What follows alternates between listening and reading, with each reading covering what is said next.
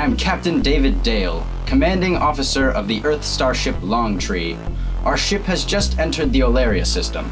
Our mission is to make contact with every alien culture we encounter, and the fourth planet of this system contains a colony of the Googlin Empire. They are a major power in this sector, but this is the first time we have encountered them in person.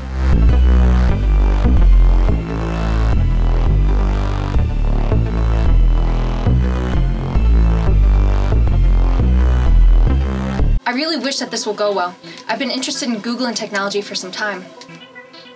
Well, I just want to see the face on old stodgy Admiral Stillwell when I break the record for youngest captain who broke the standing record for number of worlds surveyed.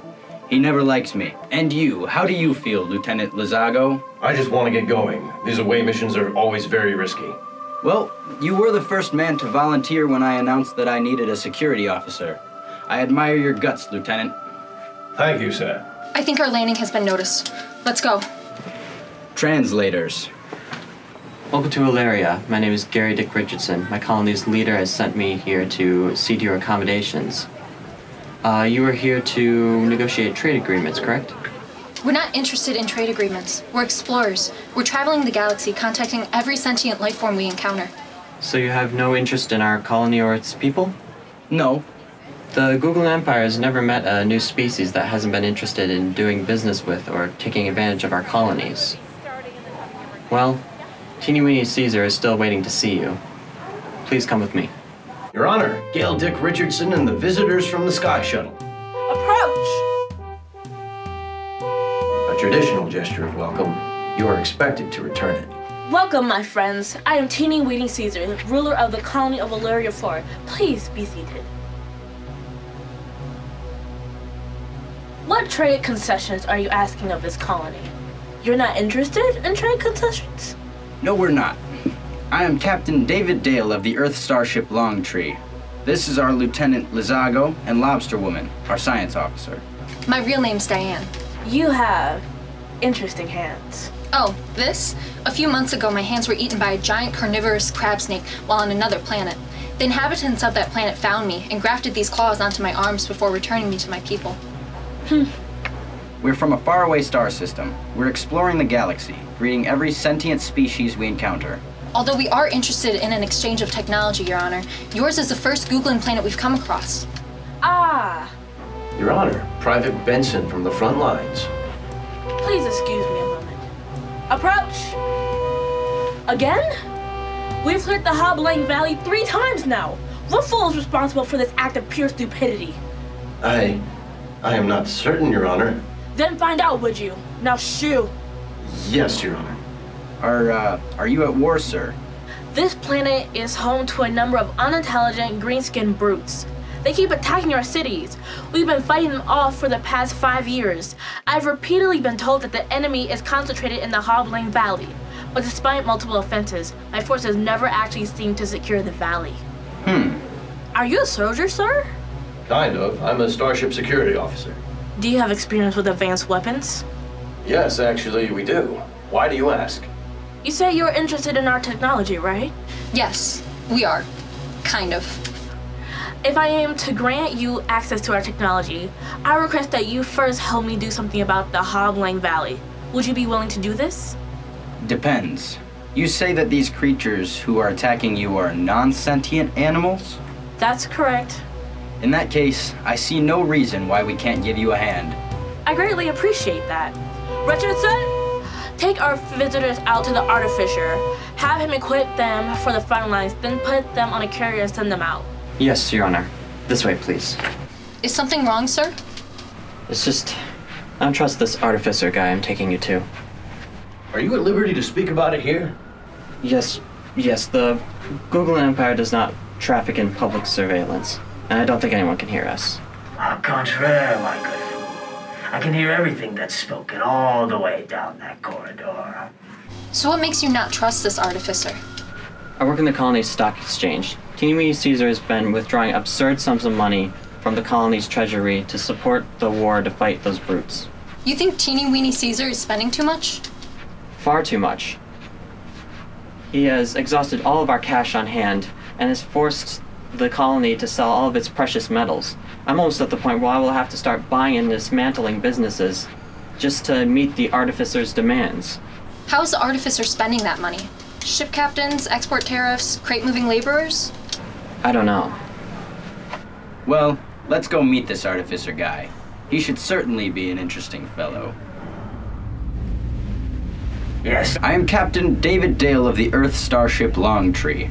Are you the artificer? Yes, I am one of the sector's most versatile arms dealers. What kind of weapons are you interested in? Well, of that I'm not sure. Teeny Weeny Caesar wants us to see the front lines in Hoblang Valley. So whatever is usually used in that area would be perfect. Very good. Please come with me. Here you are. Jungle certified pulse pistols. First thing I'd recommend for anyone going into the. Oh, sorry, sorry. Help! Help! Did you hear something? You must be mistaken. Anyways, are you satisfied with your weapons? Okay. Then in that case, you should be heading towards the transport. Is our business here concluded?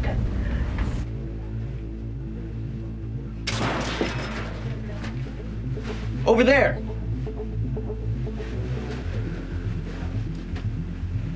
It's gone.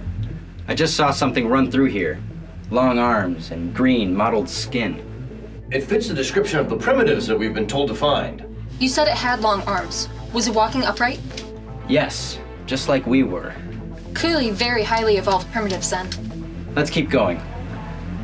Look, They held weapons just like the soldiers, but they didn't even use them. It looked like they didn't even want to use them. Speech? One of the definitions of sentient life is that it can speak.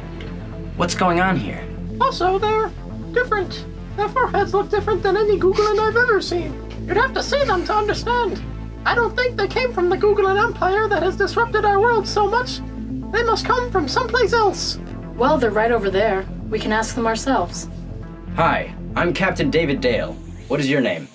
How can you speak our language? The soldiers can't understand a word we say. Why do you?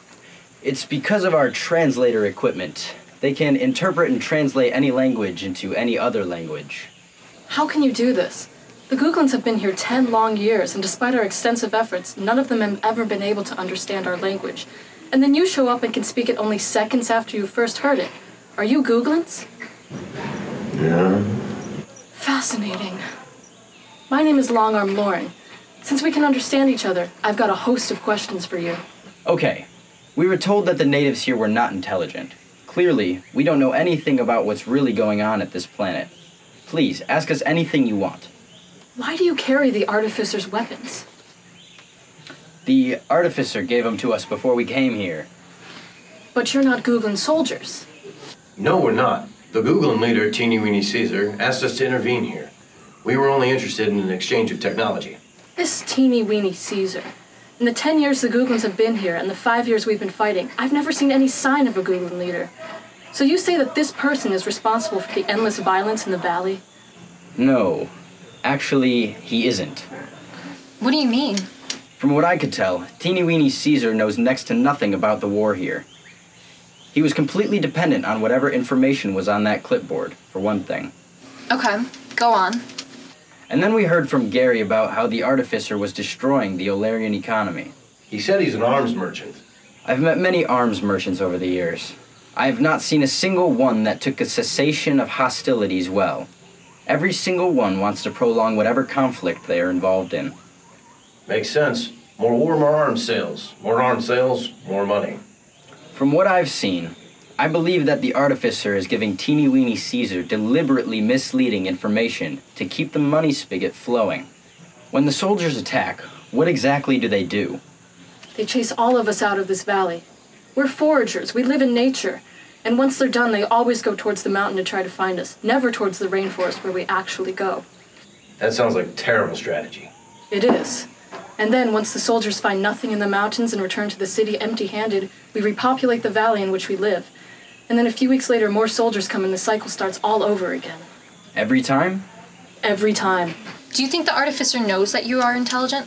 Unquestionably. Then I think we're going back to that city. two minutes poking through the Artificer's records, and I think I can find enough evidence for teeny weeny Caesar to put him away for a very long time. I thoroughly agree with you, Captain. Would you or any of your people like to come? I don't understand.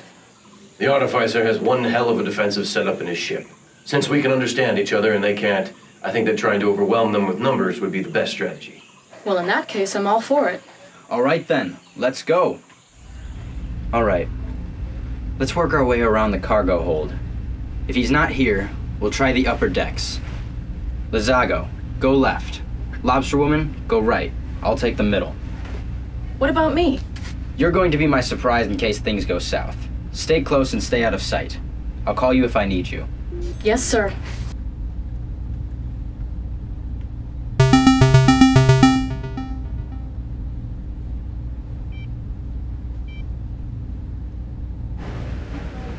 I wandered off while you were talking to the artificer earlier. I was trying to see if I could find something that would explain his actions, and somehow he detected me, and I was grabbed by one of his robots. After you left, the artificer tied me up and proceeded to do a bunch of calculations on this tablet. If only I could get my hands on that tablet. What are you doing here? Teeny Weeny Caesar sent you to the front lines. Are you disobeying her? The game is up. We know that you're prolonging the war on this planet to help line your own pockets. You don't know half of what I'm doing on this planet. But I can't afford for you to leave with Gary here.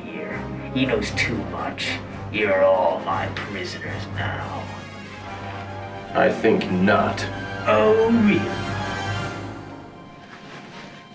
One false move from any of you and she spatter on the bulkheads. Drop your weapons. I'm not joking here. Drop your weapons. Fine then.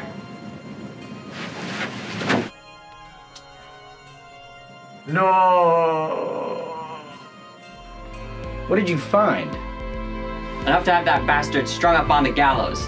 He deliberately tried to destroy the Olarian economy. He knew the natives were sentient. I suspected so for years. But I never would have suspected a conspiracy of this magnitude. That's good to hear. Speaking of which, this is Long Arm Lauren. She is the leader of the natives who you kept chasing out of the Hoblang Valley. Uh, greetings. I think we're going to have a nice long chat with Teeny Weeny Caesar. And so, the mission to Olaria 4 was a success. The war between the Googlin Empire and the natives ended peacefully. Our translator technology would not only help the two species communicate with each other, but I suspect that once news of it reaches the Googlin home planet, Teeny Weeny Caesar would become a very wealthy man. We need not conquer our friends, but rather embrace them as our colleagues and work together for a better future.